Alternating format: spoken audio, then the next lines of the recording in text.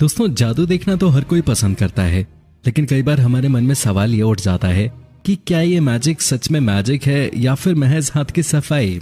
यदि आप इस सवाल का जवाब चाहते हैं तो दोस्तों, इस वीडियो को अंत तक ज़रूर देखना, क्योंकि आज की हमारी इस वीडियो में हम आपको मैजिशियंस की हैरान कर देने वाली कुछ ऐसी हकीकतों से रूबरू करवाएँगे, जिसके बारे में जानकर आप हैरान ज़रूर हो जाओगे। लेकिन दोस्तों, आगे वीडियो शुरू करने से पहले अगर आपको भी जादू देखना पसंद है तो वीडियो को लाइक ज़रूर कर दें। कटिंग इन हाफ़ दोस्तों केविन जेम्स अमेरिका के एक बेहतरीन जादूगर हैं। उनका सबसे मशहूर जादू है एक आदमी को बीच में से काटकर उसे वापस जोड़ देना।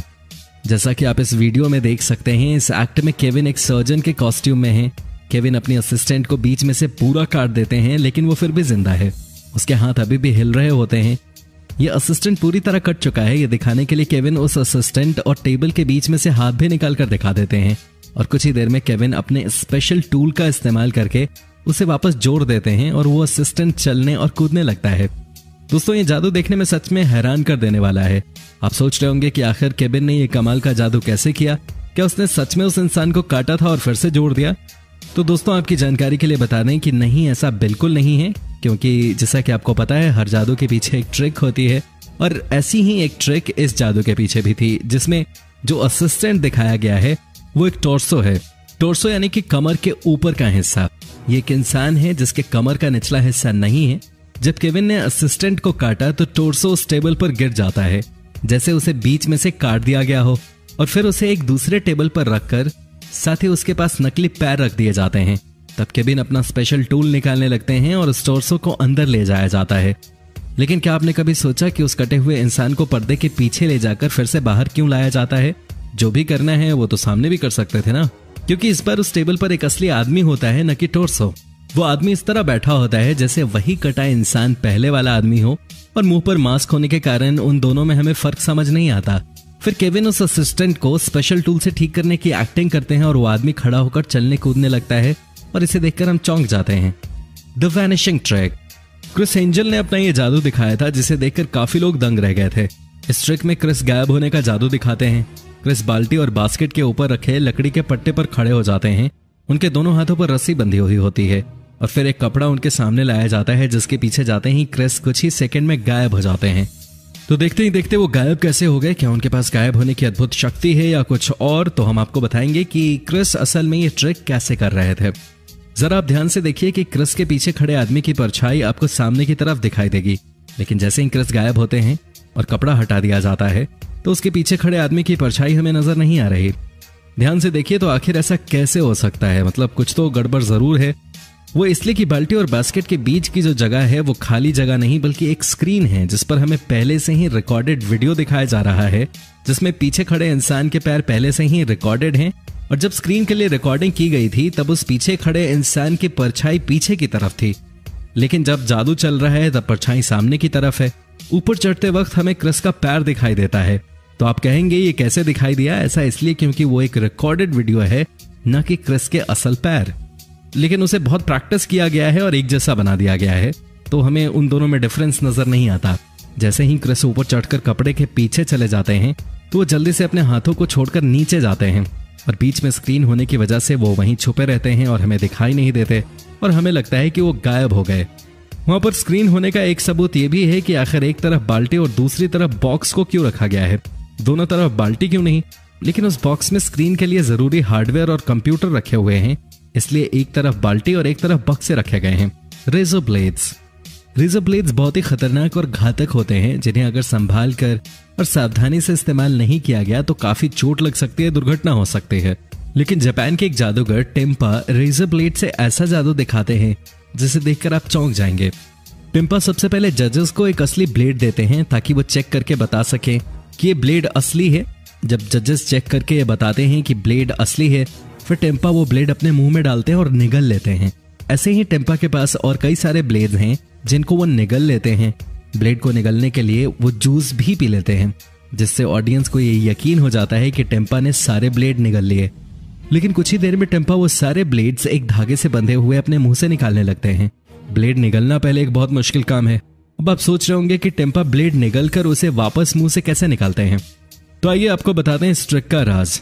ये ट्रिक करना वैसे तो बहुत मुश्किल है, लेकिन टेम्पा ने इस ट्रिक को काफ़ी बार प्रैक्टिस की है, जिसकी वजह से वो इसे आसानी से कर लेते हैं। दरअसल टेम्पा ब्लेड निगलते नहीं है, उसे वो अपने मुँह में छुपा देते हैं और जब निगलने के लिए जूस जैसा कुछ पीते हैं तो उसी ग्लास में वो सारे ब्लेड थूक देते हैं।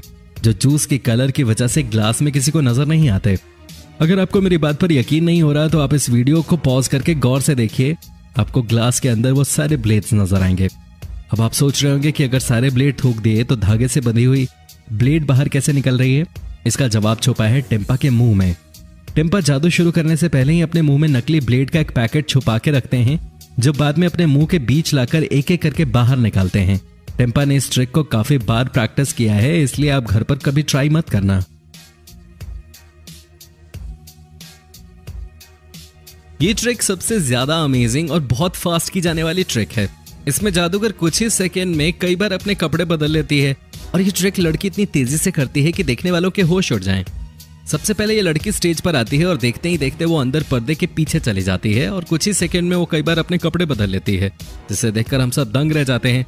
और आज भी इस जादू का राज किसी को नहीं पता। लेकिन आज हम आपको इस जादू का राज बताने वाले हैं। दरअसल दोस्तों, इस जादू का सीक्रेट इस जादूगर के कपड़ों में ही होता है। इस ट्रिक के ज़रिए जादूगर जो कपड़े इस्तेमाल करते हैं, वो काफ़ी अलग और असाधारण होते हैं। ये कपड़े स्पेशली इन जादुओं के लिए ही खास बनवाए जाते हैं और ये काफ़ी अलग डिज़ाइन किए गए कपड़े होते हैं, जिसको कई सारे लेयर्स में तब्दील किया जाता है और जादूगर एक साथ ये कई सारे लेयर्स पहनकर ही आता है। इसमें से निकलना बहुत आसान होता है और ये कपड़े वेलक्रो या फिर हुक की मदद से खुल जाते हैं। जैसा कि आप इस वीडियो में देख रहे हैं, इस लड़की को देखकर ऐसा लगता है कि उसने कई सारे कपड़े पहने हुए हैं। क्योंकि यार इतना मोटा जैकेट तो कोई नहीं पहनता और वीडियो के एंड में तो ये एकदम पतली सी लगने लगती है। और इस वीडियो में आप देख सकते हैं कि किस तरह ये लड़की अपने ब्लैक ड्रेस को निकालकर छुपाने की कोशिश कर रही है। और इस जादू को करने के लिए काफ़ी फुर्ती और काफ़ी चालाकी की ज़रूरत भी पड़ती है। क्योंकि चंद सेकंड में ही जादूगरों को लोगों को पता लगे बिना ही कपड़े बदलने पड़ते हैं। और फटाफट उन्हें छुपाना भी पड़ता है, जो इस लड़की ने बहुत बखूबी किया।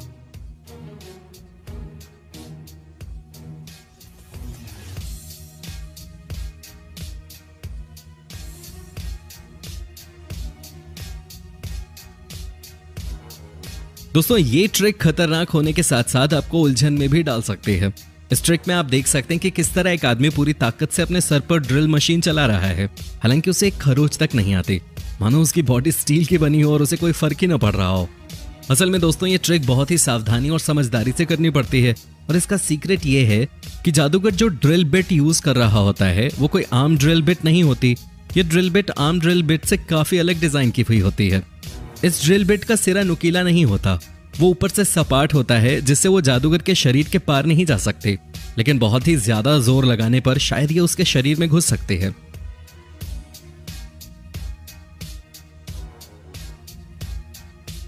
इस जादू में दो जादूगर हैं, जो एक स्क्रीन से एक नहीं, बल्कि दो दो लड़कियों को बाहर निकालते हैं। लेकिन इस जादू में सिर्फ़ यही ट्रिक नहीं है। इस जादू में जादूगर बलून को भी स्क्रीन के अंदर डाल देते हैं और फिर उसी में से दो छतरियाँ भी बाहर निकाल लेते हैं। तो ये कमाल का जादू, आखिर जादूगर किस तरीके से करते हैं? इसका ट्रिक हम आपको बता देते हैं।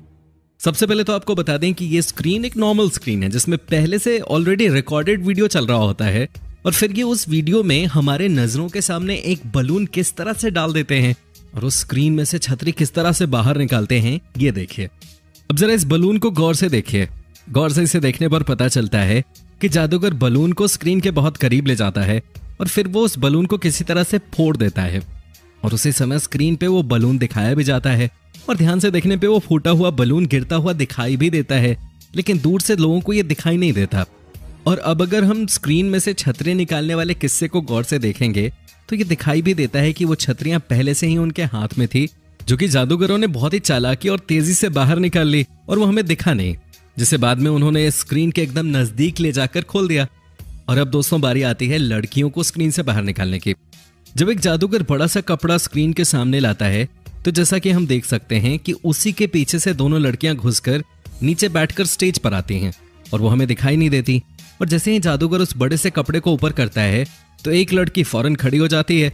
और क्योंकि जादूगरों ने अभी भी वो कपड़ा पूरी तरीके से हटाया नहीं है तो इसलिए हमें वो दूसरी लड़की नज़र नहीं आती। और जादूगरों ने उस दूसरी लड़की को छुपाने की बहुत कोशिश की। लेकिन अगर आप पॉज करके इस वीडियो को देखेंगे तो आपको दूसरी लड़की के पैर भी इस लड़की के पीछे नज़र आएँगे।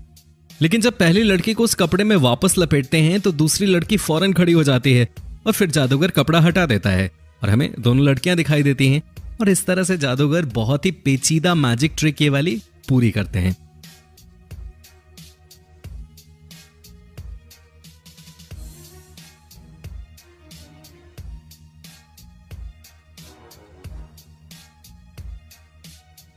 तो क्यों दोस्तों, इन मजिशियंस के ट्रिक्स आपको कैसे लगे, हमें कमेंट सेक्शन में कमेंट करके ज़रूर बताएँ। और दोस्तों, अगर ये वीडियो अच्छी लगी तो इसे लाइक करें, अपने दोस्तों के साथ शेयर करें और हमारे चैनल को सब्सक्राइब ज़रूर कर लें, ताकि आने वाली नई वीडियो की नोटिफिकेशन आपको मिले सबसे पहले। धन्यवाद।